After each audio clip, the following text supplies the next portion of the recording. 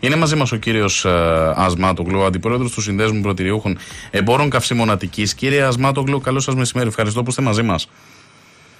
Και εγώ ευχαριστώ. Καλό μεσημέρι και σε εσάς και στους ακροατές σας. Λοιπόν, αυτή τη στιγμή ακούμε ότι η βενζίνη στην Αττική ε, έχει μία μέση τιμή στα 2,12, ε, βρίσκεται και στα 2,13. Ε, Πώ. Πολύ, πολύ σωστά το λέτε. Είναι, είναι αλήθεια. Στα μεγάλα αστικά κέντρα, εν πάση περιπτώσει, Αθήνα, mm-hmm. Θεσσαλονίκη, γιατί έχει εκτοξε, εκτοξευτεί σε πολύ υψηλά επίπεδα η τιμή της βενζίνης. Mm. Και βέβαια στην υπόλοιπη Ελλάδα είναι πολύ παραπάνω. Ακόμα και για 2,5 ευρώ, κύριε Ασμάτογλου σε κάποια νησιά της Ελλάδος, σε κάποια νησιά της Ελλάδος έχει περάσει τα 2,5 ευρώ, σε κάποια νησιά άλλα είναι οριακά κάτω από τα 2,5 ευρώ. Ε, σημασία έχει ότι έχουμε, με την εξαγγελία και του ΕΠΑΡ όσο αφορά για την ε, παροχή του αργού, του ρωσικού αργού στην ε, Ευρώπη αντιλαμβάνεστε ότι αυτό θα σημάνει κι άλλη αύξηση των τιμών διότι θα κληθούν οι υπόλοιπες πετρελαιοπαραγωγές χώρες να καλύψουν τις ανάγκες ε, τις ευρωπαϊκές, ε, που σημαίνει ότι θα πρέπει να παράξουν περισσότερα βαρέλια αργού πετρελαίου και αυτό είναι κοστοβόρο. Θα, θα κοστίσει παραπάνω, το οποίο αυτό θα μετακυληθεί ε, στη Λιανική, στη τσέπη του Έλληνα, θα είναι βάρος για την τσέπη του Έλληνα καταναλωτή.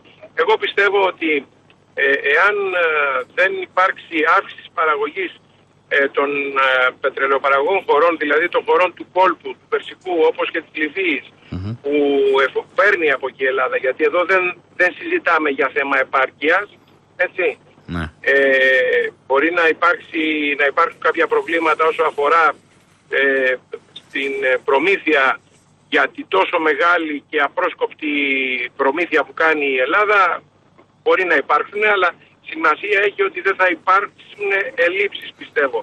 Υπάρχουν και αποθέματα, δεν ναι. τίθεται θέμα. Αυτό όμως το οποίο θα έγινε αρνητικό είναι ότι θα υπάρχουν αυξήσεις στη τιμή της βενζίνης. Και βέβαια βλέπετε ότι το τελευταίο διάστημα δεν είναι μόνο οι αυξήσεις απλά αυτές καθεαυτές οι οποίες προέρχονται από το αργό πετρέλαιο.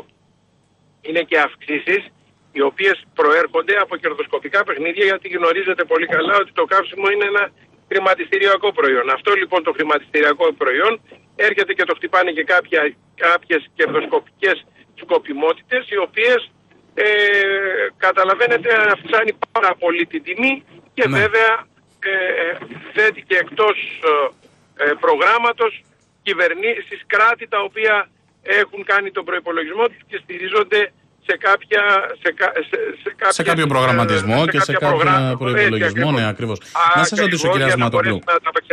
Να σας, θέλω να σας ρωτήσω λίγο για, το, για την επιδότηση των καυσίμων, για το Fuel Pass, το, οποίο, ε, το μέτρο που πήρε η κυβέρνηση. Ε, η, η ερώτησή μου τώρα έχει να κάνει με το ε, κατά πόσον έχει χρησιμοποιηθεί αυτό. Γιατί ακούμε αυτές τις μέρες ότι ε, από τους δικαιούχους ε, έχουν προβεί στη διαδικασία η μισή. Έχουν ολοκληρώσει τη διαδικασία η μισή. Και, και λίγο παραπάνω, ίσως είναι δύο εκατομμύρια αυτοί οι οποίοι έχουν πει στην πλατφόρμα και έχουν δηλώσει το ενδιαφέρον. Όμως το θέμα είναι το εξής ότι πάρα πολλοί κόσμος έχει δηλώσει τον τραπεζικό του λογαριασμό και εκεί, θα του, εκεί του έχουν μπει τα χρήματα. Τα εκταμιεύει και πάει και, τα, και αγοράζει καύσιμα ή επασπερτώσει οτιδήποτε άλλο μπορεί να θέλει να αγοράσει. Γιατί δεν ελέγχεται αν πράγματι θα πάει στο καύσιμο αποκλειστικά και μόνο. Είναι ένα, ένα μέτρο, ένα βοήθημα το οποίο δίνει η κυβέρνηση, το οποίο σου λέει το δίνω με το άλλο, σαν πακέτο με τα άλλα μέτρα που έχω δώσει τις παροχές. Τώρα αν θέλεις εσύ να μην αγοράσεις καύσιμα και να πάει να αγοράσεις κάτι άλλο, εγώ το βαφτίζω και το λέω επίδομα βενζίνης.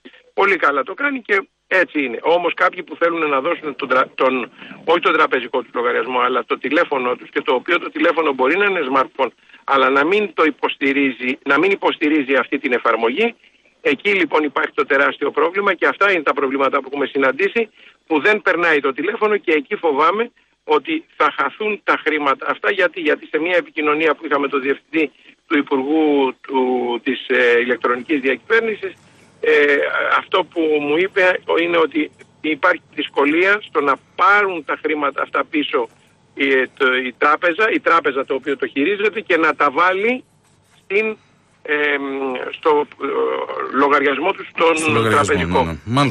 Άρα λοιπόν έχουμε κάποια τέτοια προβλήματα και αλλά σημασία έχει ότι ο κόσμος έχει πολύ ανάγκη παρά του ότι οι αυξήσεις αυτές πάνε να φάνε αυτή την επιδότηση αλλά δεν έχει να κάνει, η κυβέρνηση τα έδωσε αυτά τα χρήματα. Όμως ε, οι αυξήσεις είναι πολύ μεγάλες και έρχονται να εξανεμιστούν αυτά τα χρήματα και βέβαια πολύ μεγάλο βοήθημα είναι η μείωση του πετρελαίου και φανταστείτε ότι αν πράγματι αυτή η μείωση του πετρελαίου των 15 λεπτών δεν υπήρχε σήμερα το πετρέλαιο κίνηση στα μεγάλα αστικά κέντρα θα ήταν στα 2 ευρώ. Ήταν στα 2 ευρώ, ναι. Μπράβο. Και αυτό το λέω γιατί για να σας ρωτήσω πότε είχατε δει το πετρέλαιο να, έχει, να είναι στην ίδια τιμή με την αμόλυβδη βενζίνη. Και τη στιγμή που το πετρέλαιο κίνησης, το, ο φόρος, ο ειδικός φόρος κατανάλωσης είναι το μισό της βενζίνης. Αν λοιπόν αυτό δεν είναι κερδοσκοπικά παιχνίδια τα οποία προέρχονται από το εξωτερικό, από πού προέρχονται; Μάλιστα. Ή, δεν, ή, ή αν μην πούμε για το εξωτερικό, αλλά εν πάση περιπτώσει έχει γίνει ποτέ να εκτοξευτεί τόσο πολύ ψηλά η τιμή του Όχι πετρελαίου. βέβαια, δεν, δεν το έχουμε δει ξανά σε προηγούμενο. Κύριε Ασμάτογλου, σας ευχαριστώ πάρα πολύ για αυτήν την Εγώ. επικοινωνία. Ευχόμαστε να πάνε όλα καλά και να μπορέσουμε να βρούμε μία άκρη τόσο οι καταναλωτές όσο και οι καταστηματάρχες της ε, βενζίνης οι πολιτές.